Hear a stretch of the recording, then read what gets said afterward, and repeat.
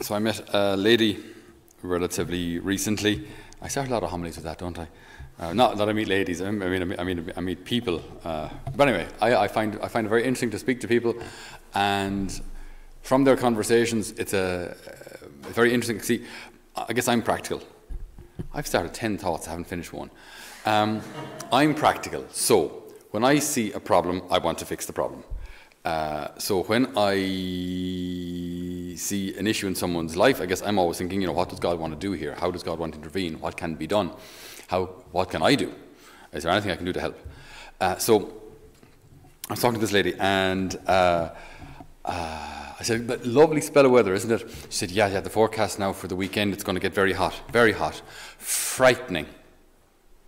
And I, I, I you know, when you, when you kind of think you misheard, Ireland frightening because of the heat. That would be a first, that really wouldn't it? Wouldn't it? And then I remember actually a conversation that we had a couple of months back, uh, where it was it was going to be a very wet week. Oh, I've seen the forecast; it's going to mill rain for the whole week. Frightening. It's Ireland. We're we're kind of used to it. I don't know. There's nothing really frightening about a week of rain. I mean, it's just kind of normal, really, isn't it? Never mention not not to mind like things that might actually be slightly frightening uh, even though we're at the end of the uh, end of Europe, like maybe you know things in the Ukraine, the situation there, which uh, is disconcerting at least. But just, it's just this, this, it was an interesting thing where where her default reaction to most things was frightening. whatever whatever's happening, or always elections coming up, frightening. It's just it was just kind of an interesting thing that to, to, to live in that kind of constant state of fear, of practically everything frightening her. And so that, that's, that's an interesting, interesting, kind of sad way to live, actually. Because rather than everything being frightening, I mean, I, I, and this is something that, I, look, is something that's easy to preach about. I have to live this as well. But to see everything as an opportunity rather than a threat. You know, so when there's a difficult situation, this is my opportunity now to pray. It's my opportunity to go deeper. It's my opportunity to learn to renounce myself or to overcome my own laziness or emotions or whatever it is and, uh, and bring the Lord into it. You know, every situation every difficult situation, every sad situation, every cross is an opportunity.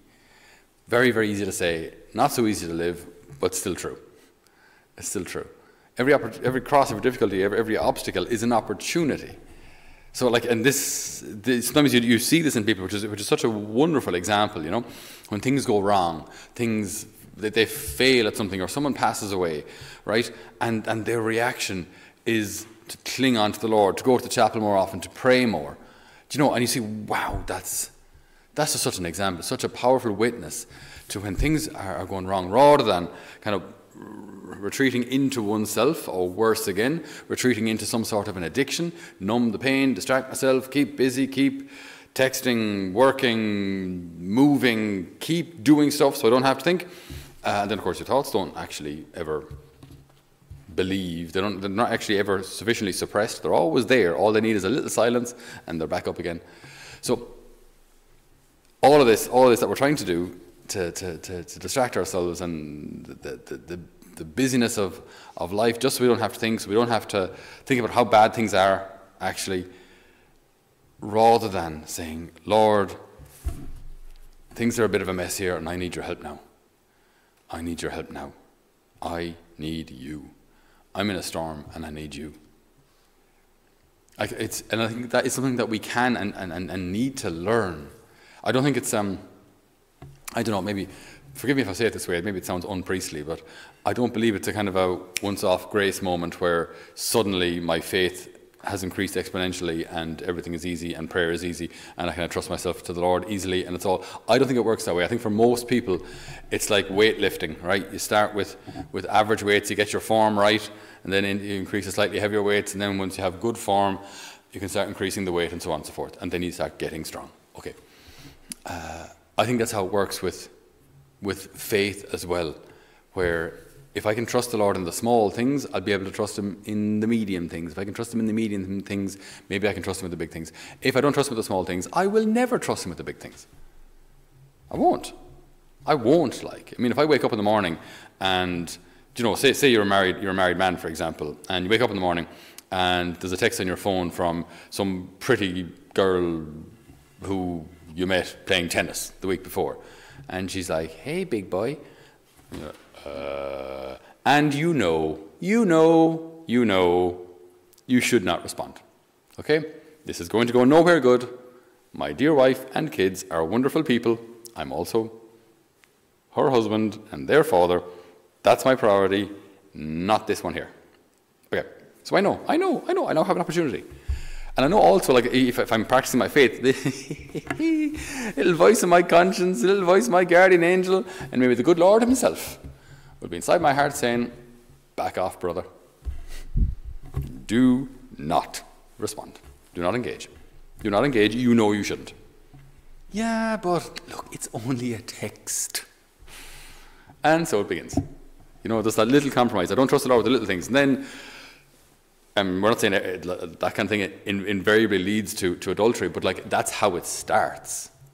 You know, so if I trust the Lord with the little things, then I can trust Him with the medium things. It's like, like when people start discerning a religious vocation, they want God to tell them, Lord, what is my vocation? Am I called to be married? Am I called to be single? Am I called to religious life? What is the story? And they, more or less, they do, they do want to know the answer. They do. They do. I think, though, on occasion, they want, kind of want the answer for free. They want the answer quickly. I'd just like to know, be good, like, out of interest. Rather than, do you want to pray a rosary every day for the next six months and see then what the Lord will reveal? Do you want to attend Mass regularly now, like every week, um, and purify your life of, of, of whatever is getting in the way of you hearing the Lord, and then listen? Are you willing to do something rather than, um, I just like someone to tell me what my vocation is? Are you willing to actually work for it?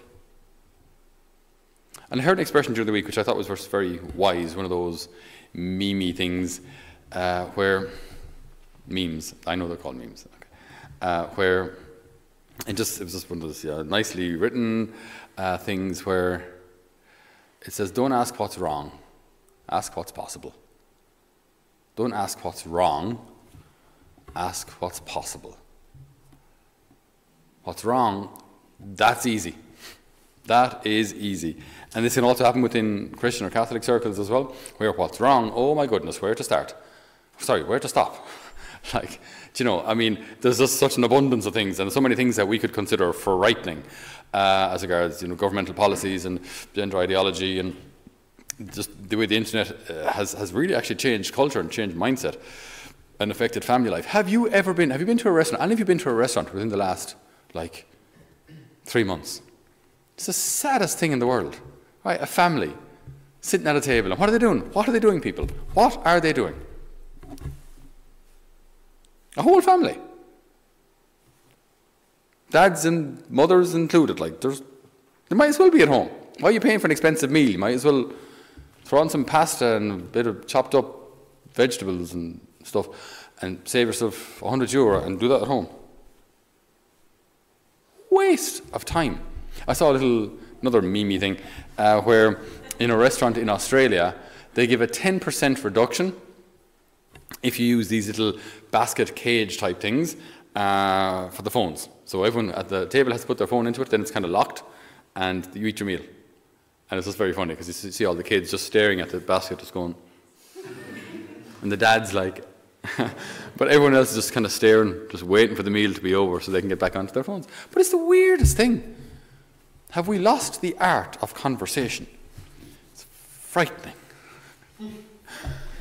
Have we, like? Oh, it's just ridiculous. Do you know, so, but all of this then just kind of allows us to live in this kind of imaginary world, in this fantasy world, in this la la la land, uh, rather than live and love the people around us. Rather than learn to, to live my life with the Lord. Learn to recognize what my crosses are and how they're affecting me, and how, Lord, I need you in this problem and in this other problem and for this person. And to learn then to bring them to the Lord. This is all preparation for heaven, guys. This is all preparation for intercessory life, where I recognize people's needs, and because of that, I bring them to God. I raise them to the Lord. I raise them to the Lord. That's what we should be learning here, so that we can do it for all eternity in heaven, just praising Him, raising everyone to Him. So these are habits that we learn now rather than just focusing on, on all the negative. As I say, there's a ton of negative stuff out there. Uh, rather than focusing on what's wrong, focus on what's possible. So, what is possible? Can you pray today? Yes, we'll do it. Can you forgive today?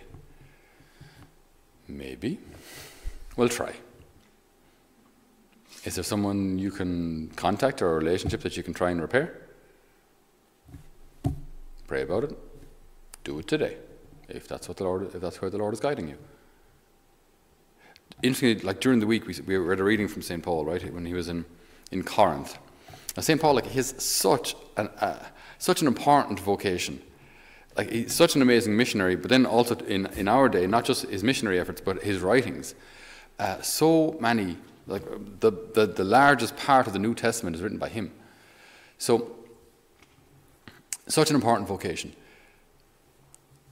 From a human perspective, it makes no sense why the Lord would have allowed certain things, right? Why spend so much time in prison? Why be brought to Rome and decapitated there in Tre Fontane?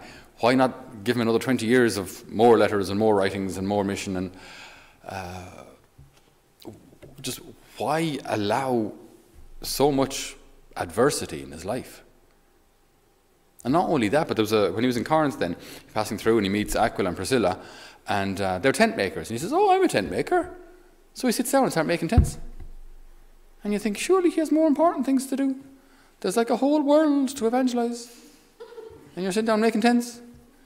But like for St. Paul, what was important? What was important is just do the next right thing.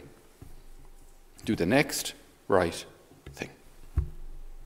And it's, it's amazing where that next right thing might bring it's also amazing where the next you doing the next right thing may have hugely positive consequences in other people's lives. A friend of mine years ago, uh, from Tramore actually, gave me a book uh, called 100 by Jason Evert called 100, 100 what's called If You Really Loved Me. It's called If You Really Loved Me, and it's got 100 questions, 100 questions and answers on relationships and sexuality, and that was the basis of all the, the talks I used to give in, in secondary schools about relationships and sexuality because it was just so well written, so well researched, with good humour but solid facts as well and solid teaching, solid Catholic teaching. So, and I remember like on a few occasions drawing from that book in, in, in confessions and in conversations with people. So I learned from that book. So this guy gives me the book as a gift, I learn from it and I pass on that information to others. I have no idea how that has affected other people. M maybe it has even saved a life. Maybe there was a girl out there who was considering an abortion and we got talking about it, and because of it, because of what I said, she didn't. So now there's a, some little 10 year old child running around somewhere because of me. Uh, please don't misunderstand that. A uh, 10 year old child running around because the mom didn't have an abortion, okay? Uh, so, like there's, so there's a whole life. Who then will grow up and get married and have kids of her own? Trace that all back to what? This friend of mine giving me a book 10 years ago. Just do the next right thing.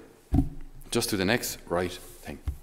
Now, we don't have to worry about everything that is very, very wrong out there, but just don't focus on what's wrong. Focus on what's possible. And let the Lord be Lord of this world. Amen. The following is a special appeal by Father Patrick Cahill. Dear brothers and sisters, thank you so much for joining us uh, for these homilies on YouTube or whatever podcast media you're listening to us on. Uh, it's a great privilege to be able to serve you all in this way. Uh, if I could ask you, please, to pray for us here in Holy Family Mission. We're heading into our eighth year of uh, faith formation for the young people who are attending here, and it's a great gift and privilege to be able to work here. But we would ask if you would pray for us and pray for all of our intentions here as well, that we can continue this work. And if you feel the Lord is in any way calling you or asking you to support us financially, we would greatly appreciate that too. So if you go to, onto our website, holyfamilymission.ie, there's a donate button there, and we'd greatly appreciate uh, your donations so that we can keep this work going. Uh, it does unfortunately cost uh, a bit to run this place, so uh, our we greatly rely on our benefactors. And of course, we play, pray for all of our benefactors' needs, especially on Wednesday, the day traditionally dedicated to St. Joseph, the Father of all providence. So thank you so much uh, in advance for your prayerful support and also for those who are able to uh, uh assist us financially. We are immensely grateful. God bless you.